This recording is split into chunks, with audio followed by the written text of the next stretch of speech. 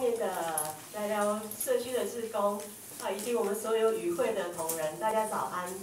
那非常开心哦，又再度到了我们南寮村来。我每一次要来这个地方，都有一份喜悦跟感动。哦，为什么喜悦呢？像今天早上我们是搭公车出来的，好像小时候要远足一样。那感动呢？因为我本身自己是呃湖西亮沙港人，所以到这个社区，我就觉得很多的一些呃农业风貌跟我们小时候在沙港村的那个感觉是。非常像的哦，所以特别回到这边，还有另外一点是，其实我的阿公就是南寮人，所以所以对这边有一份比较特殊的感情。好，那在这边再次跟大家宣布一个好消息，我想可能大家在报章杂志都都有看到了。哦，我们南瑶社区真的非常不容易哦，连续两年获得哦柏林国际旅展的世界百大绿色旅游胜地。连续蝉联两年哦，一百零六年跟一百零七年。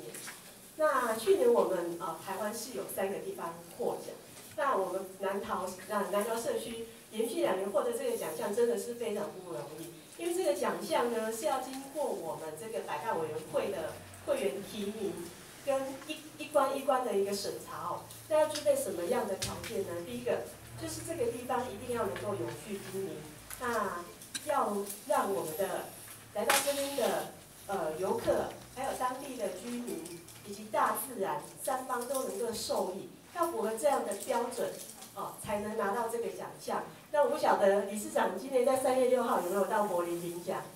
哦，没有，还是我们台湾台湾这边有派出代表帮我们领奖。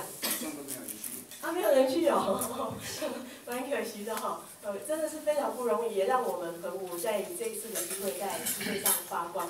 那报章报呃杂志的报道就是台湾的骄傲啊，我想我们澎湖人更是与有荣焉。那讲到这边，大家是不是以最热烈的掌声向我们理事长还有我们的所有南寮村的村民致敬？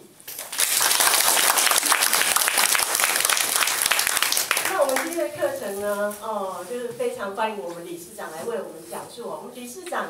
他现职是在呃台湾电力公司澎湖区营业处担任服务督导专员，好，那他平常哦听说也担任一个垒球的一个裁判长的角色哦哦，你看看他的体格就知道哦，能文能武。那他的专程是在是美工还有呃社区总地规划，另外呢他也担任我们的环境教育还有国防的志工哦，非常不容易。那么我们。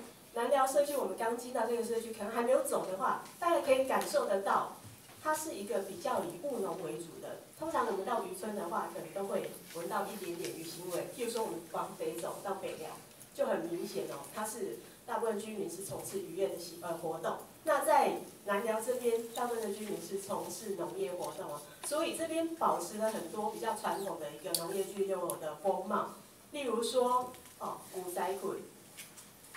还有古虾哈，这个都还有，还有菜胚啊，龙沟煮，啊，这个我们小时候都是很常见的，但是在南寮这边，我们特地把它保留下来。呃，经过我们理事长还有村长跟我们在地的一个村民啊，从九十九年开始进行一个社区总体营造。那他们一开始是把这边比比较一些废弃哦、脏乱的地区哦，重新哦整理改建哦。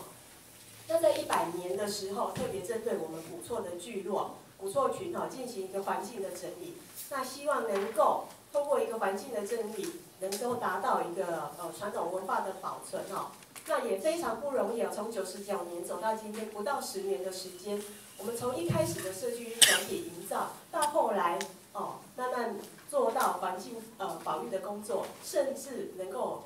哦，一要登上一个国际舞台哦，成说呃成为一个农村旅游的亮点哦，真的是非常不容易。那我们今天呢，真的非常荣幸也非常高兴，把这个研习的场地大家拔到南寮村，让我们实地哦，透过理事长的讲解，跟等一下他会实地带领我们在南寮村走一圈哦，让我们了解看看怎么样将我们这个环境有趣还有旅游结合在一起哦。那我们现在是不是就把时间交给我们理事长？好，欢迎理事长。